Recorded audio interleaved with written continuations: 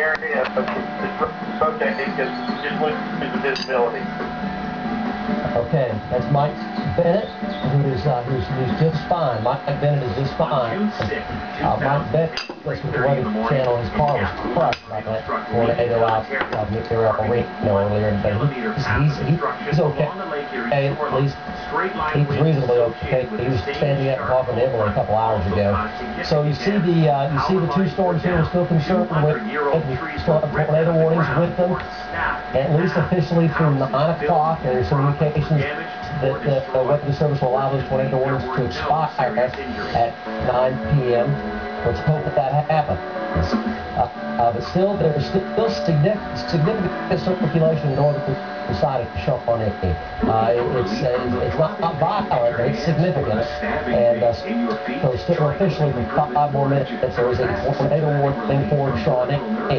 And then also coming across uh, in Pottawatomie County out of Cleveland County, uh, this circulation is weaker, but it is still significant. It's weaker, but it's still significant. Now it's heading into the central Pottawatomie County, on down toward the Asher and Macomb and the Trinity, and then St. Louis and Maud is where that one's going. So uh, you see both storm tracks on these uh, for at least four more minutes. There are tornado warnings with those. Uh, back to the west around Mustang and Tuttle, that's hail and heavy rain.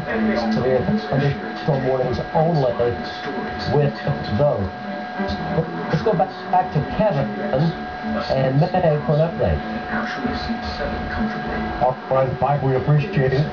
We need, uh, we discussed, we pictures coming in here, which we want to take a look at. We'll go look at that other way, yeah. That's what we talked about, the semi, I-40 banner, that is near where the fatalities of the mother and the child the semis are all over the road there. We've been told at least three in that area. Yeah, yeah, what we mean was uh, six or nine people from some of those semis their profiles so tall on the road, that wind just throws over like, like crazy. Yeah. live, and let's go out to you. Sarah, where are you and? Well, right now we are uh, right around the airport.